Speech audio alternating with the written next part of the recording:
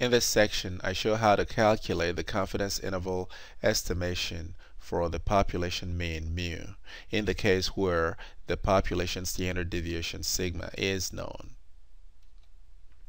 As I explained earlier, a confidence interval provides a range of values, an upper limit, and a lower limit within which we believe the true population mean mu lies. But for this to be the case, the distribution of the sample mean x bar must be normal or at least approximately normal by virtue of the central limit theorem which we studied earlier and based upon which we were able to use this construct for the standard normal variable z to calculate probabilities associated with the values of x bar. For the confidence interval estimation of the population mean, we define it as follows. It's the sample mean x bar plus or minus z multiplied by the standard error of x bar. You would recognize this ratio, the standard deviation divided by the square root of the sample size as the standard error of the sample mean x bar which we learned in the sampling distribution of the sample mean. Now though, when you multiply the standard error of x bar by the value of z, you are calculating what's called margin of error right here. This margin of error is very important because it's going to de determine the interval width between the uh, lower limit and the upper limit. Now, for example, suppose you wish to calculate the 95% confidence interval for the population mean. What this simply means is that you're looking at the area, the central region, equal to 0.95, so that one half of this central region would be 0.475, and the other half here would be 0.475. More importantly, the residual regions on the tail area, this region and this region combined would be equal to 0.05. We refer to it as alpha. Alpha marks off the combined tail region in confidence interval estimation as well as hypothesis testing, which is a concept that you're going to be learning about shortly. So now, based on this area of 0.95, you will find that the corresponding value of z is 1.96. So it's going to be 1.96 on the left and 1.96 on the right. And of course, the value on the left is denoted with a negative to show that it is 1.96 standard deviations below the mean. Now, observe that because you are looking at the central region equal to 0.95, that one half of the tail region, which is alpha over 2, would come out to be 0.025, which is 0.05 divided by 2. As well, it will be 0.025 on the left. So in this definition, this z with the subscript of alpha over 2 is simply indicating the fact that the value of z is based on the tail region, one half of which is on the left and the other half is on the right. So let's look at a quick example here. Say you take a random sample of 25 adolescents from some developing country and you find that the average weight is 122 pounds with a standard deviation of 20 pounds. You wish to calculate the 95% confidence interval for the true population mean weight and I'm just making up the story to kind of spice things up a little bit. So you begin by defining the confidence interval right here. And then you substitute. X bar is 122. That's the sample mean point estimate that you obtained from this sample of 25 adolescents. The z value for 95% confidence is, is 1.96 and then this is the standard error 20 over the square root of 25 which comes out to be 4 so if you multiply this 4 by the value of z you are calculating the margin of error which here is 7.84 pounds. So the lower limit would be the sample mean of 122 minus 7.84. That gives you 114.16 while the upper limit would be 122 plus 7.84 and that's going to give you 129.84 pounds. And I have shown the illustration right here for the lower limit and the upper limit.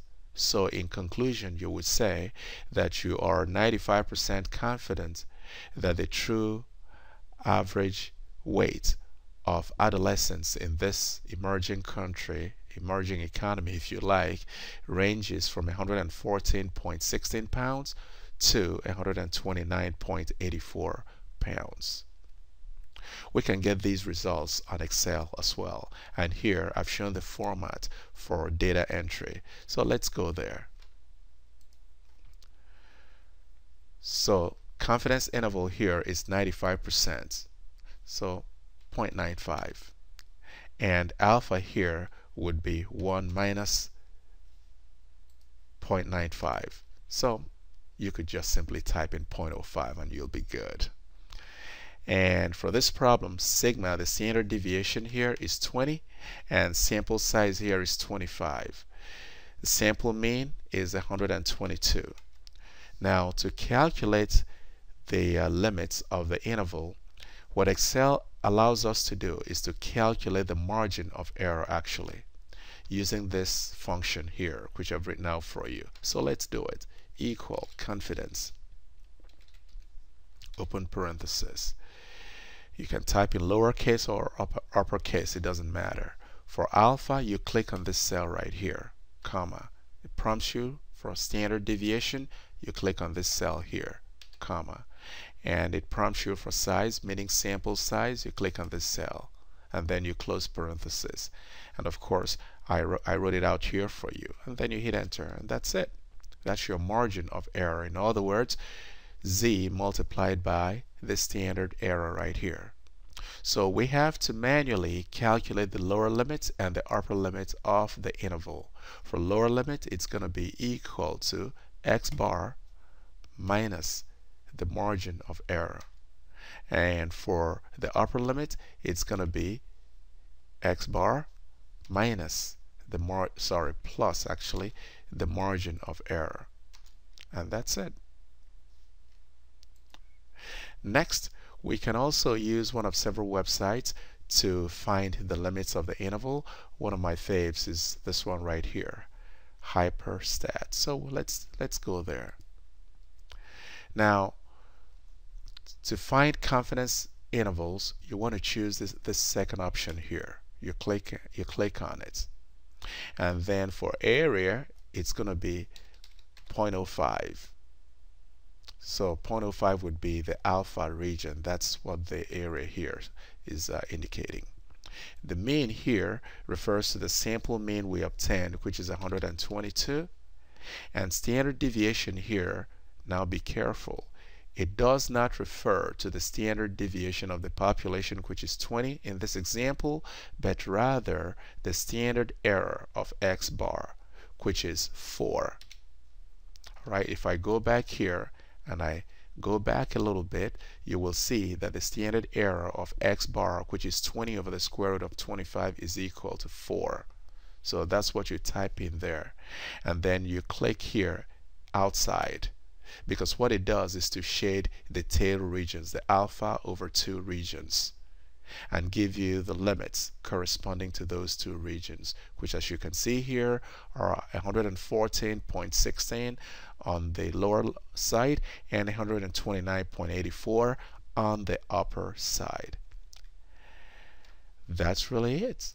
So a couple of uh, final notes here, two important implications. One is when sampling from the same population using a fixed sample size, the higher the confidence level, the wider the confidence interval. In other words, if you raise your confidence level from let's say 95% to 99%, your confidence interval would be wider insofar as you keep the sample size the same. So let's see what this really implies. Um, actually, let's go to Excel. It's better explained there. So here, if we were to raise right now the width of the interval equal upper limit minus lower limit. So this is the width of the interval right now, 15.68, based on a confidence interval of 95%. Now, if I increase this from 95% to 99%, let's do that. Observe, the interval width increases from 15 approximately to now over 20. Now, what exactly does this mean? Actually, I call it um, a case of playing it safe in confidence interval estimation. Now, suppose I calculate the 90% confidence interval uh, for the estimation of tomorrow's average temperature.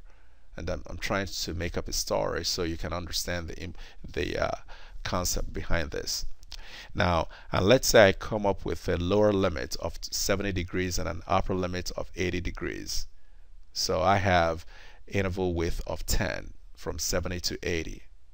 However, you'd like me to raise my confidence level from 90% to 99% in my forecast. In other words, you'd want me to be more assuring in my forecast because the forecast that produced the limits of 70 to 80 degrees is uh, the confidence level is 90%.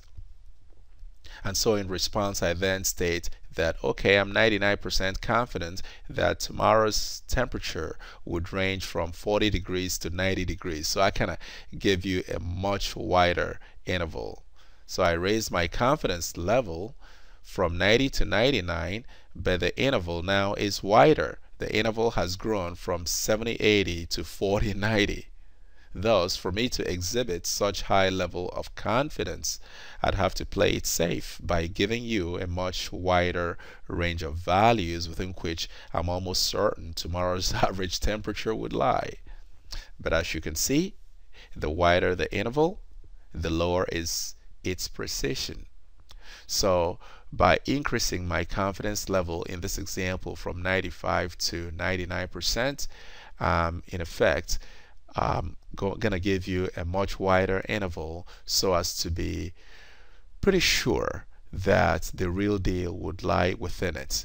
But being pretty sure that the real deal would lie within it, look over here how much wider the lower uh, limit to the upper limit now is. The second implication here is when sampling from the same population using a fixed confidence level, the larger the sample size, the narrower the confidence level. So let's demonstrate this again on Excel. So initially we had 0.95, so let's keep it where it was before. Now suppose I were to increase my sample size from 25 to let's say 100. Now watch the interval width it shrank big time to 7.84. If I raise it some more to 150, it drops some more to 6.40. So obviously in performing any kind of um, study, if you choose a larger sample, you'd be incorporating additional data which would increase the informational strength of the study that you are performing.